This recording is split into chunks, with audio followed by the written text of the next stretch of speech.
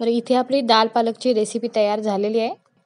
नमस्कार मी तेजश्री सखी सहेली आणि मी मध्ये तुम्हा सर्वांचं स्वागत करते. तर दाल पालक बनवण्यासाठी इथे मी कढईमध्ये एक दोन चमचे होईल इतकं तेल घेतलेलं आहे. थोडं कमीच आहे. एक पालकची जुडी बारीक चिरून घेतली आहे. फक्त पाण्याच घेतलेली आहे. त्याच्यानंतर थोडेसे कढीपत्ता एक चमचा मोठा होईल इतकं आलं किसून घेतलेलं आहे. तुम्हाला बारीक चिरता येत असेल तर तसं घेऊ शकता. एक चमचा लसूण दोन हिरव्या मिरच्या एक मध्यम साईजचा कांदा आणि एक मध्यम साईजचा टोमॅटो बारीक चिरून घेतलेला आहे. तर इथे तेल हलकंसं गरम होत आलंय. त्याच्यामध्ये तुम्ही थोडं बटर घालतीये. चमचे होईल इतकं घातलेलं आहे. तर इथे लोण्याऐवजी तुम्ही तूप वापरलं तरी चालेल. आता याच्यामध्ये मी अर्धा चमचा जिरं घालते.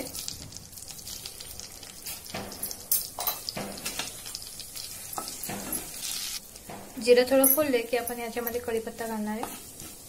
कांदा. हलकंसं परतून म्हणजे घेऊया कांद्याला. आता याच्यामध्ये मी मिरच्या घालते. याला देखील एक साधारण अर्धा मिनिट परतून घेऊया.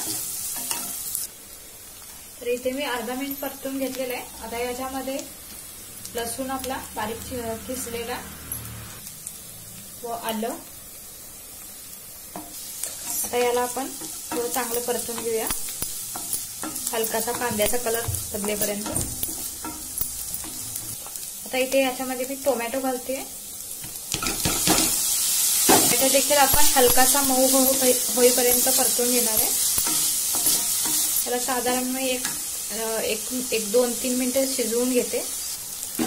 साधारण एक दोन ते तीन मिनिट चांगलं मी याला शिजवून घेतलेलं आहे. टोमॅटो चांगला मऊ झालेला आहे. आता आपण याच्यामध्ये आपले मसाले घालून घेऊया. अर्धा चमचा गरम मसाला अर्धा चमचा लाल तिखट व एक चमचा धने पावडर. चवीनुसार मीठ. आता मीठ इथे मी थोडंच वापरले कारण डाळ शिजवताना देखील मी मीठ वापरलेलं आहे. आणि पुन्हा पालकमध्ये मीठ थोडं जपूनच वापरावं. नंतर आपण हवं तर ऍड करू शकतो. याला ते चांगलं परतून घेऊया. व आता एक पाव चमचा होईल इतकी हळद. हलकासा हिंग घालते मी अगदी थोडासा. कारण नंतर आपण जेव्हा तडका बनवणार आहे तेव्हा देखील हिंगाचा वापर करणार आहे.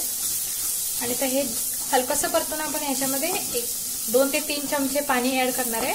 आणि हे कांदा टोमॅटो वगैरे शिजवून घेणार आहे चांगलं.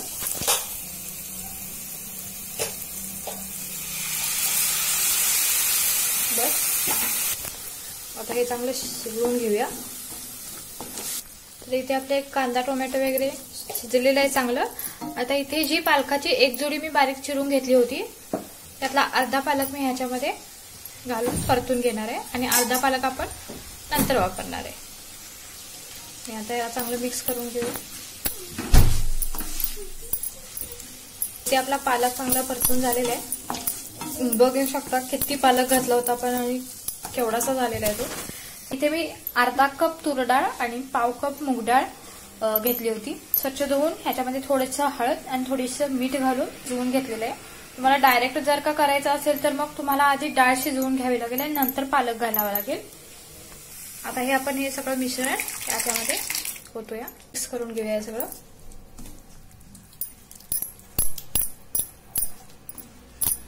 आता इथे याच्यामध्ये जो राहिलेला पालक आहे शिल्लक सगळा मी याच्यामध्ये घालते. जेणेकरून दाल पालकचा जो फ्लेवर आहे तो चांगला वाढेल. तर याच्यामध्येच आपण ह्या पालकला शिजवून घेणार आहे. इथे मी पालकाला साधारण पाच ते सहा मिनिटं चांगलं शिजवून घेतलेलं आहे. पालक चांगला शिजला गेलाय. आता आपण गॅसची फ्लेम बंद करूया. इथे मी एक चमचा होईल इतकं तूप घालते आता याच्यामध्ये. आता पालकला आपण बाजूला ठेवूया व तडका बनवून घेऊया. तर तडका बनवण्यासाठी इथे मी साधारण दोन चमचे तेल गरम करत ठेवलेलं आहे. व इथे मी सुक्या दोन मिरच्या घेतलेल्या आहेत. तेल चांगलं गरम झालंय याच्यामध्ये अर्धा चमचा मोहरी. थोडासा हिंग. आणि आपल्या लाल दोन मिरच्या. यांना आपण चांगलं करून भाजून घ्यायचं मग थोडंसं लाल तिखट. अगदी थोडंसं. आणि ते मिक्स करून घेऊया. आपला तडका तयार. आता आपण याच्यावरती तडका पसरून घेऊया.